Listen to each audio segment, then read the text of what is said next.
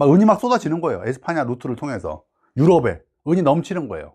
이러면 은값이 어떻게 되겠어요? 유럽에서 은값이 떨어지겠죠. 예. 은값이 떨어지면 그게 화폐값이 떨어진다는 거거든요. 그럼 물가는 올라가요. 이걸 가격혁명 이라고 얘기한다는 거죠. 그러니까 가격혁명이라고 하는 건 뭐예요? 인플레이션이에요. 예.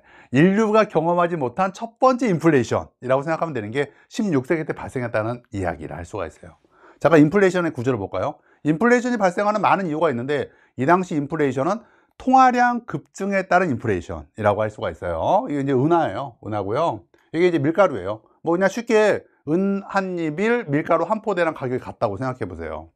그런데 이제 밀가루 가격이 늘어나, 밀가루 생산량이 늘어났다고 쳐요. 생산량이 늘어나서 밀가루가 네 포대가 되는데 은하 양이 그대로라고 쳐봐요. 은하를 못 찍어. 은하가 없으면 은하를 못 찍는 거죠.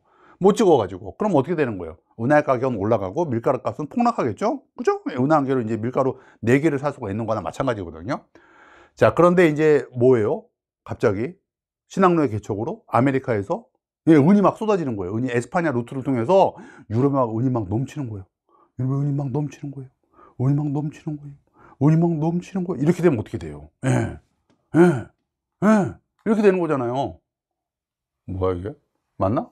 그죠? 예. 밀가루 가격이 오르게 돼. 밀가루 가격이 오르게 돼서 이제 인플레가 이걸 뭐라고 부른다? 가격 혁명이라고 부른다는 이야기예요. 가격 혁명이 이제 발생을 하면 그러니까 유럽인들이 처음 겪는 인플레이션이나 마찬가지죠. 초고도 인플레이션이 발생한 거예요.